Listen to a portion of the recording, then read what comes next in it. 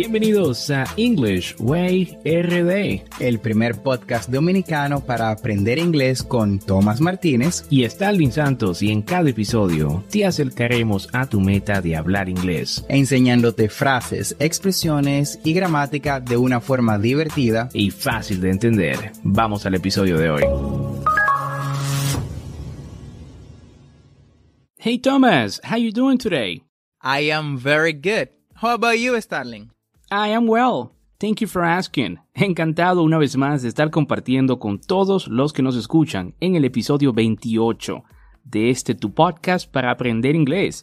Y si aún no sabes qué es un podcast, déjame y te cuento. Esto es como un programa de radio online, pero grabado.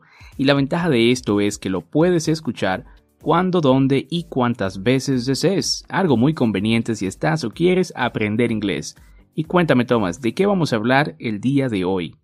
En el episodio de hoy, Starling, estaremos hablando de los adverbios de frecuencia en inglés. Los adverbios nos sirven para matizar de diferentes maneras lo que queremos expresar con el verbo. Los adverbios de frecuencia específicamente son usados para indicar cada cuánto hacemos algo. Lo decimos continuamente y nos ayudan a ser más precisos con nuestras frases. Exacto, Thomas. Y es bueno mencionar cuándo se usan los adverbios ah, de frecuencia. Y si hablamos de los adverbios en español, tenemos mucha más libertad en cuanto a la colocación de la palabra en la frase. No es algo tan fijo y establecido como en inglés. Por eso es importante practicar los adverbios de frecuencia en inglés, porque es algo que en nuestra lengua no se aplica de la misma forma. Podemos decir que los adverbios de frecuencia expresan cada cuánto tiempo hacemos una acción. Lo usamos para hablar de nuestros hábitos y hablar de la frecuencia en la que desarrollamos cada actividad. Veamos un par de ejemplos. We have never been there. We have never been there. Nosotros nunca hemos estado allí. I usually go to the gym. I usually go to the gym. Normalmente voy al gimnasio. Perfecto, Starling. Cabe destacar que los adverbios de frecuencia suelen identificarse con una sola palabra. Pero, ¿cuál es la regularidad que expresa cada uno? Bueno, veamos algunos ejemplos lo vamos a ir indicando en orden de mayor a menor frecuencia. Así que pon mucha atención. Y como siempre, recuerda repetir después de mí. Nuestro primer adverbio de frecuencia es always. Always. Siempre. Es decir, el 100% de las veces.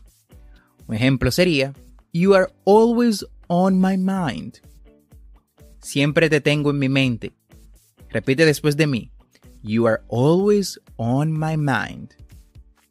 Otro ejemplo podríamos um, decir es Alaska is always cold. Alaska is always cold. Alaska siempre está fría. Asimismo, también tenemos el adverbio usually, normally and generally.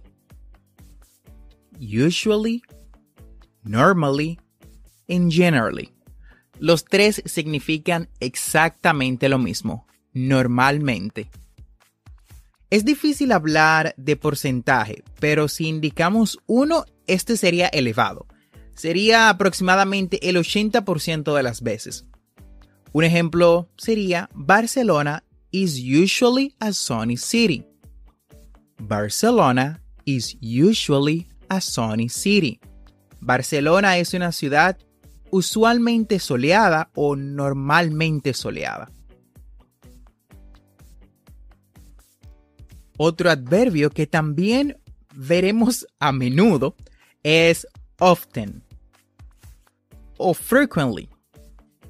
Often, frequently. Bueno, básicamente significa eso, a menudo, más de la mitad de las ocasiones. Un ejemplo sería, on Saturdays I often go to the mountain. On Saturdays, I often go to the mountain. Los sábados, a menudo voy a la montaña. Perfecto, Thomas. Y continúa la frecuencia en disminución. Y tenemos a sometimes, sometimes y occasionally. Occasionally. Repite después de mí. Sometimes, sometimes, occasionally. Y este se traduce como a veces. Y este expresa eh, menos de la mitad de las veces, ¿verdad? Cuando queremos decir que algo lo hacemos eh, al 50% de las veces, entonces podemos utilizar sometimes o occasionally. Ejemplo, I sometimes go to the beach on fall. I sometimes go to the beach on fall. En otoño, a veces voy a la playa. Y seguimos con hardly ever, hardly ever, rarely y certain. Repite después de mí. Hardly ever, rarely, certain. Este es casi nunca, raramente. Uh, ejemplo. It hardly ever snows in Barcelona. It hardly ever snows in Barcelona. Raramente nieva en Barcelona. Y terminamos con never. Never. Y never significa nunca. Ejemplo. I don't like live music. I never go to concerts. No me gusta la música y nunca voy a conciertos. Repite después de mí. Never.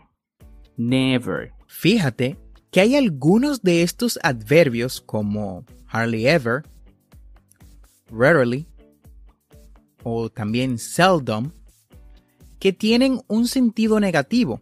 Por lo tanto, tienen que acompañar a un verbo que sea afirmativo. Pongamos un ejemplo. Como siempre, recuerda repetir después de mí. You never walk alone at night. You never walk alone at night. Tú nunca caminas solo de noche. I rarely go shopping. I rarely go shopping. Voy raramente de compras. Exactamente, Thomas. Y es importante conocer dónde colocar el adverbio de frecuencia en inglés. Depende con qué tipo de verbo se construya la frase. El adverbio irá en una u otra posición.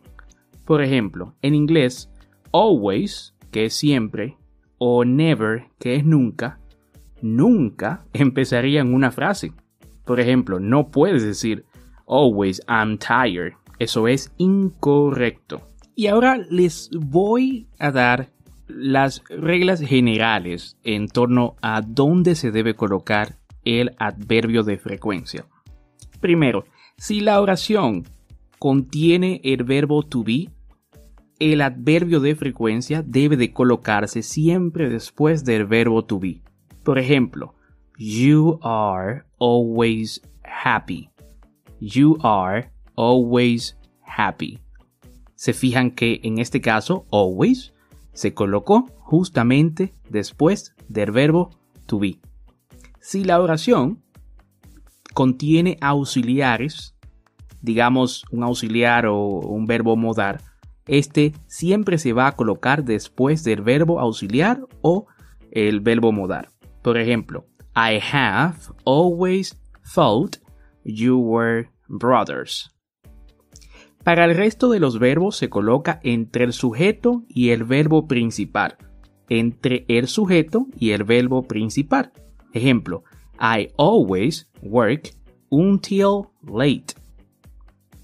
En el caso de sometimes o usually, sí podemos encontrar estos adverbios de frecuencia encabezando la frase.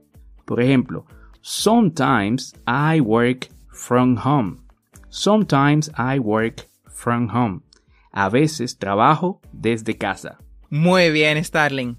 Ahora vamos a tener una conversación para que tú que nos escuchas tengas una idea del uso real de los adverbios de frecuencia. ¿Le damos Starling? Let's go, Thomas. Man, you know, I have never been at the beach. What? Have you ever in your life been at the beach? No, man. I wish I could often go to the beach. We have to go every weekend though. And you? I always go to the beach. I love it. What do you normally do on your free time? Well, I usually go to the pools. Sometimes I visit my grandmother's and always play video games. We have to go, man. You have to know the love of the Mother Sea. Let's do it, man. Next weekend? No, bro. We have to do it this weekend. Y con esta conversación hemos llegado al final del episodio del día de hoy. Gracias por quedarte con nosotros. Recuerda que tendremos dos episodios semanales, lunes y miércoles, y si te gusta lo que escuchas o conoces a alguien que quiera aprender inglés, comparte este podcast. Thank you so much for listening our podcast. Muchas gracias por escuchar nuestro podcast. No olvides apretar el botón de suscribirte en tu reproductor de podcast favorito como Apple Podcast, Spotify, Google Podcast, Castbox o cualquier otra aplicación de podcast y así vas a obtener actualizaciones semanales de nuestros nuevos episodios.